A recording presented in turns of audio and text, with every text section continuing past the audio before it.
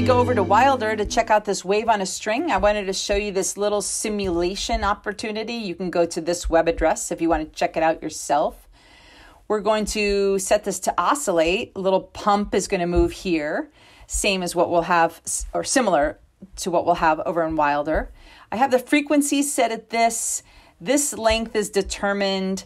Um, it's going to be different length than what we have over there, but nonetheless, let's run this and see how it reflects off of our fixed end here and it develops into a standing wave because I've already set these frequency and amplitude numbers correctly.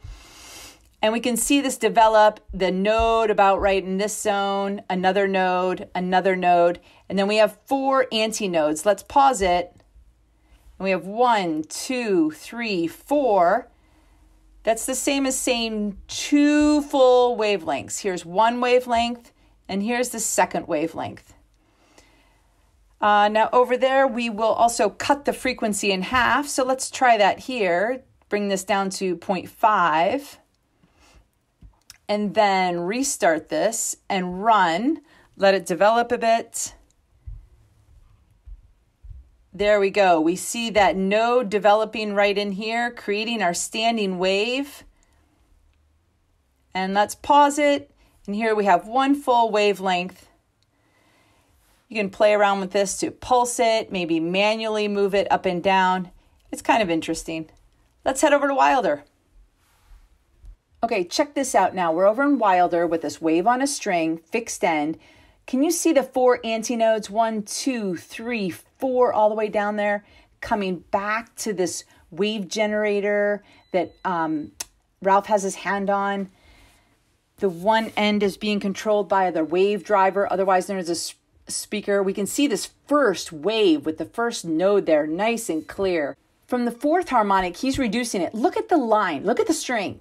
You see how it's no longer a standing wave as he's reducing. He's honing into about 9 hertz, which should give us the second harmonic.